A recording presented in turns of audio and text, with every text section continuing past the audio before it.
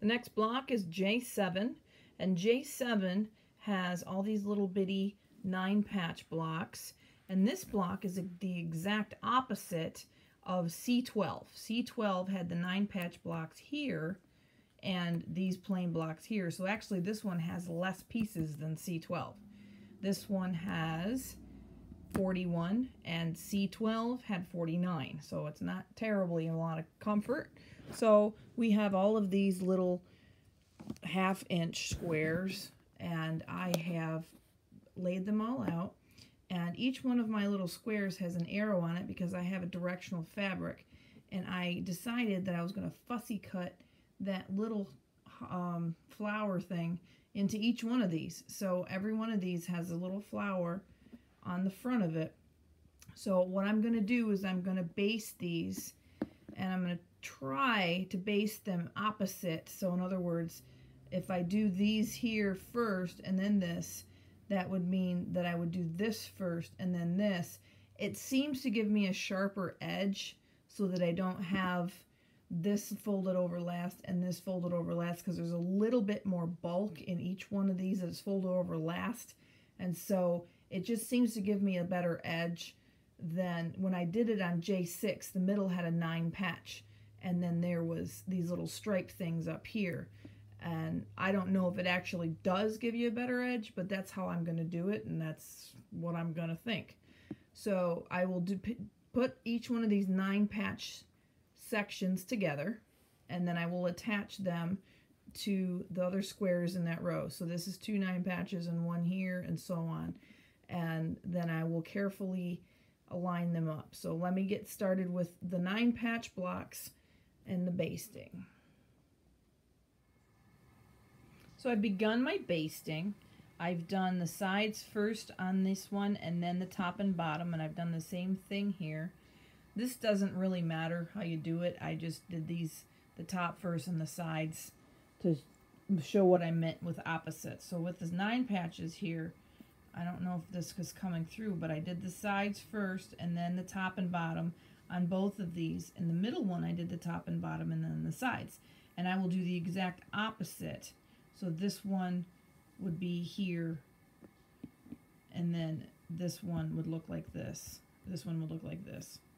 So I'll be able to then have a straight edge and a folded edge that I'm going to stitch together. And hopefully that will keep my lines and my sharp points a lot better. I'm going to baste this and I'm going to start with assembly of this one. So I've put my little row together of three tiny blocks. And so this is what I've got with my little fussy cutting of my flowers. And then I've got these two already put together, so this is going to make the third.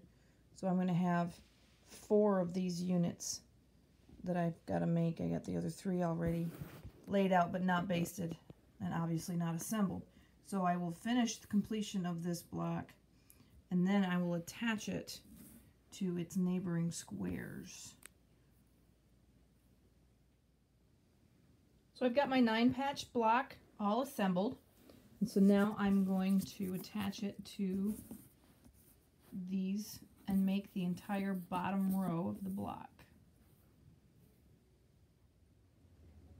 Now I've got the whole bottom row of this block assembled and I will set that aside and work on the middle row. So I've got the middle section completed, two nine patch blocks with a plain square, and I will assemble these to complete the row and then I can attach it to this one. So going to get these connected and I will be able to put it on.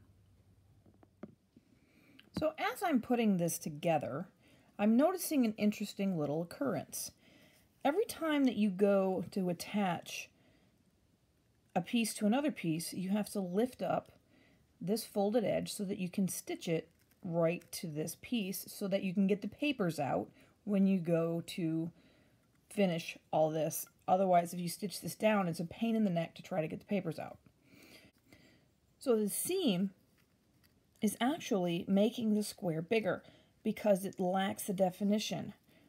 If I was to plan this right, I would flip this around and do this here and then pull down with my stiletto and make sure that I've got this edge right on my seam and then stitch it because I'm stitching with the flat back method and when I stitch I'm going to go under or on top of the paper but under the fabric and then on top of the paper and under the fabric with this fold you get more fabric. And if you're not careful you miss the edge.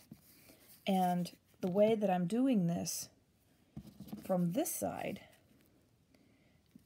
is because it's not being pulled tight from the other side, I have to really kind of go in here at an angle and push it back to make sure I get to the edge of the paper.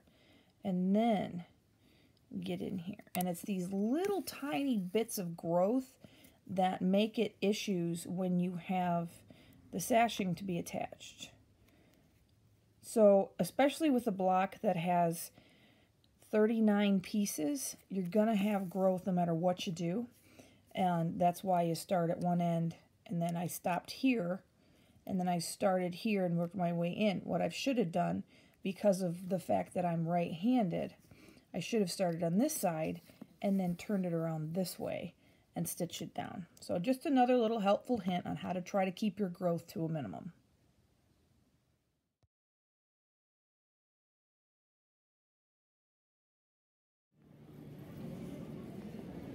So I've completed assembly on my middle row, and now I will work on assembling my top row.